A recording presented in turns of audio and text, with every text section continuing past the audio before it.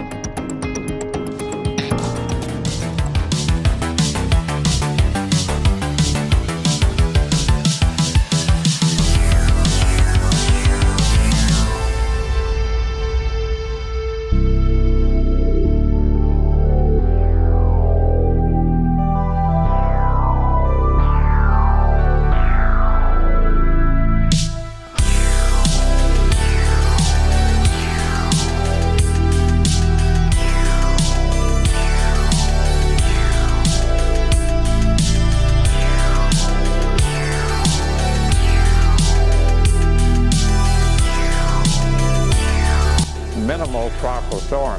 Some very heavy rains are moving in toward Cuba, especially the eastern part of Cuba should get uh, deluged with some very, very heavy rains. And we also anticipate that the Cuban government is likely to put up some tropical storm warnings for a portion of uh, Cuba. We think the eastern part